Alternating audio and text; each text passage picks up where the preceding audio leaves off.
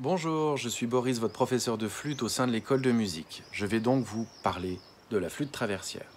Tout d'abord, pour commencer, il y avait cette flûte. Cette flûte, elle est composée de trous dans du bois avec un autre petit trou ici, une petite clé. Et voilà, ça, cette flûte-là, c'est le traverso, à peu près 300 ans avant notre époque. Par la suite, cet instrument a évolué, on lui a rajouté des petites clés, euh, toujours le même principe. Donc on met les doigts sur les clés, on souffle et on obtient du son. Moi, je vais vous parler surtout de cette flûte-là, parce que cette flûte-là, c'est la flûte moderne, c'est celle que je vais vous enseigner au sein de l'école de musique. Alors, celle-ci, vous voyez, est en métal, elle est beaucoup plus puissante, et puis elle a des clés, et voilà, et tout simplement, donc le système est toujours le même.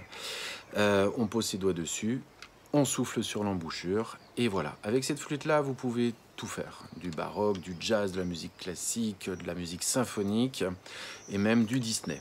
Par exemple,